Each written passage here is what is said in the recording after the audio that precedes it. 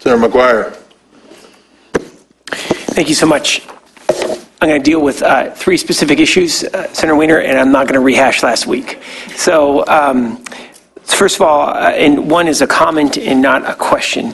Um, I I think it's important, uh, and have had several conversations with individuals on city councils uh, within the North Bay, uh, that the amendment that both senators have worked through with the chair and Senator Wiener is replacing shall with should uh, to do away with the unintended mandate to ensure future housing production has been met.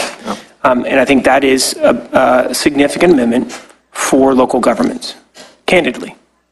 The, uh, the- and that's where I've heard a lot of concerns uh, from local governments. On developed areas, I know that you were having a conversation earlier about developed areas, uh, and I also know this is a work in progress one of the items obviously want to uh, avoid, and I know that I don't want to put words into the senator's mouth, but I'm sure he wants to avoid, and particularly unincorporated communities are non, uh, are in non-developed or small communities in unincorporated areas.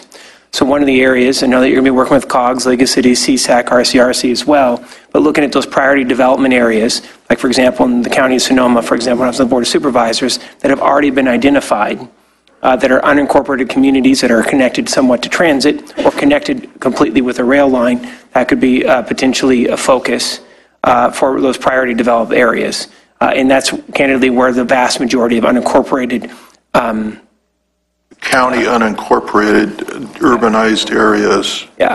like So, Sacramento and your county. yeah.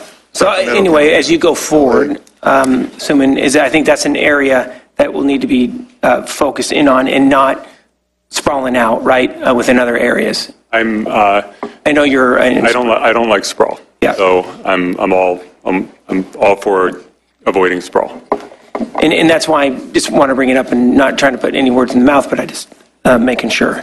Um, and I think the other piece is, um, and it was a significant amendment, uh, again, going from, uh, down from 200%.